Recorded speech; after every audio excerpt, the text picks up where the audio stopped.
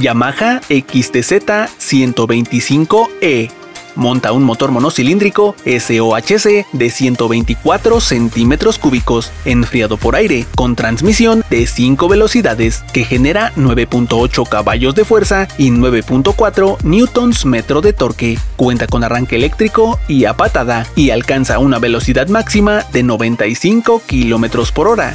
Dispone de un tanque de combustible de 10.6 litros y ofrece un consumo estimado de 40 km por litro. Incorpora suspensión telescópica convencional delantera y monoamortiguador trasero, freno delantero de disco, freno trasero de tambor, rines de radios y neumáticos 80, 90, 21 al frente y 110, 80, 18 atrás. Tiene un peso en orden de marcha de 118 kilogramos y una altura al asiento de 840 milímetros. La XTZ 125 es el modelo doble propósito de entrada de Yamaha en ella encontramos el diseño conservador de una motocicleta preparada para el off-road.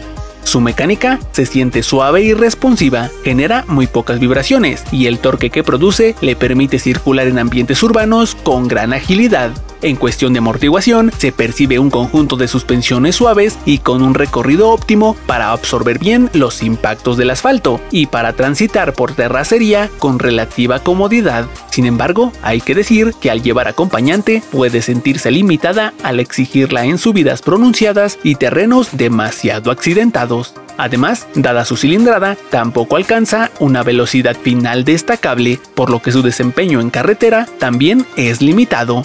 A pesar de ser una motocicleta con una calidad de construcción destacable y un comportamiento más que bueno, su precio es una de sus principales desventajas, siendo uno de los modelos doble propósito más costosos de esta lista. Además, incorpora algunas características que pueden verse obsoletas si las comparamos con lo que ofrece su competencia de marcas mexicanas, y es que aún conserva un tablero análogo e iluminación halógena. Pese a ello, la XTZ 125 sigue siendo uno de los modelos doble propósito de entrada más durables y con mejor calidad de construcción, lo que la convierte también en una de las opciones más confiables de este segmento.